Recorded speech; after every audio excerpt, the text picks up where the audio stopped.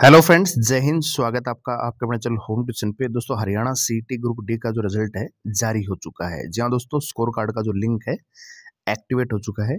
कैसे आप चेक कर सकते हैं और क्या क्या उस स्कोर कार्ड में है, वो सब जानने के लिए वीडियो को ध्यान से पूरा देखिए। दोस्तों, सबसे पहले तो हम ये कटिंग देख लेते हैं, जो अभी अभी अखबार में आई है। कितने बच्चे यहाँ पे पास हुए हैं, ये आप देखिए यहाँ पे। हरियाणा कर्मचारी चयन आयोग ने ग्रुप डी स्कोर कार्ड जारी किया। चार लाख दस हज़ार बच्चे यहाँ पे पास हुए हैं। अब ग्रुप डी भर्ती जल्द सिरे चढ़ेगी। ठीक है? सीएम साहब ने कुरुक्षेत्र में की थी रिज़ल्ट जारी करने की घोषणा। और यहाँ पे पद कितने हैं? दोस्तों, लगभग साढ़े चौदह हज़ार यहाँ पे पद रहने वाले हैं।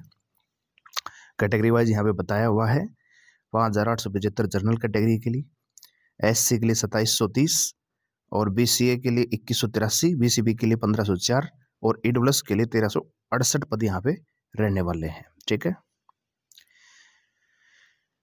और यहाँ पे दोस्तों सारी डिटेल दे रखी है कि रिज़ल्ट हो जारी हो चुका है। बारह जनवरी को देर शाम तक रिज़ल्ट घोषित कर दिया जाएगा। इस प्रकार से कहा गया है। ठीक है? और बहुत जल्दी भर्ती पूरी होने की यहाँ पे उम्मीद यहाँ पे जताई जा रही है दोस्तों। ठीक है? तेरह लाख चौरासी हज़ार बच्चों ने रजिस्ट्रेशन करवाया था। आठ लाख पचपन हज़ार बच्चों ने लगभग परीक्षा दी। ठीक है दोस्तों? जिसमें से चार लाख से ज़्यादा बच्चे यहाँ पे पास हो गए हैं। तो अब कैसे चेक करना है? आइए देखते हैं। तो दोस्तों रिज़ल्ट को चेक करने के लिए आपके पास ये लिंक होगा।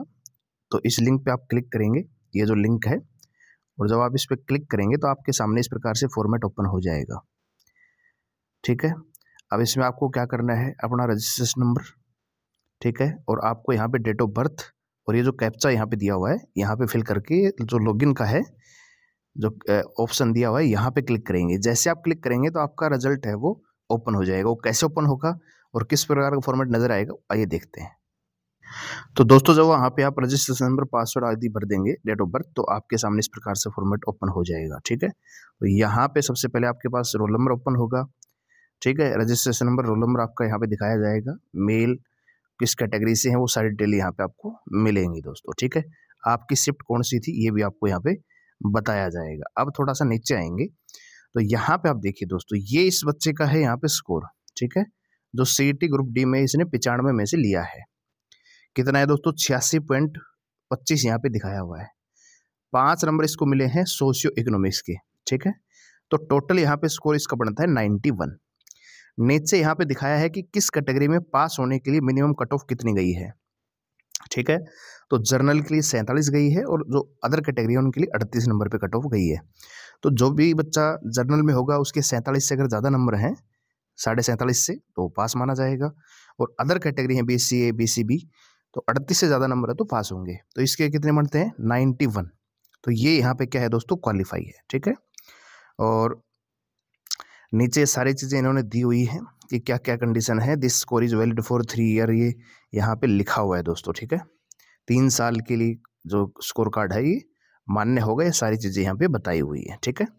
तो आप भी जल्दी से जाके अपना स्कोर चेक कीजिए और कमेंट करके बताइए कि किस कैटेगरी में, किस शिफ्ट में आपका कितना स्कोर भी बन रहा है, ताकि फाइनल कट ऑफ़ निकल के आ सके, क्योंकि चार लाख बच्चे पास हुए हैं।